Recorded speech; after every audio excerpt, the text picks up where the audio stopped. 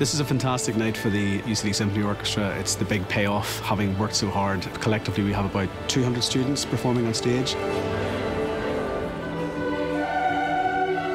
Music is my ultimate passion. I'm obsessed with music within Ad Astra. We have frequent recitals within UCD, also outside of UCD, where we have workshops, we have accompanist lessons we meet different vocal coaches. We get to know different conductors, ultimately just improving our opportunities within the music scene in Dublin. Having come from a background where music wasn't particularly present, the encouragement I've received in UCD School of Music has been phenomenal. It's actually pushed me towards aiming for my master's degree in music and possibly a PhD too.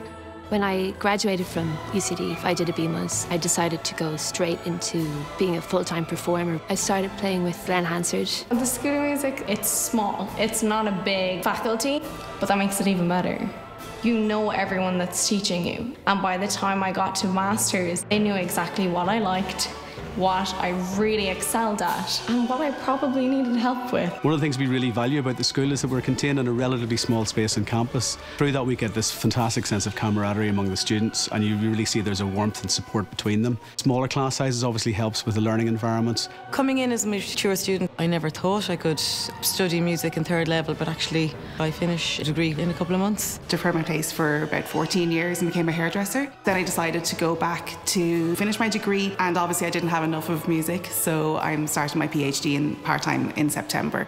There is a peer mentor program which does help you make friends in your class quite easy, which is great. I was quite afraid that I may not meet any friends, but I actually met many friends. It's so great to be part of the orchestra because I get to hit stuff and it's fun. If it wasn't for the use of the orchestra, I wouldn't still be playing music today. My dad always said that when you retire to football and hurling, you can keep playing the music like it's a skill for life.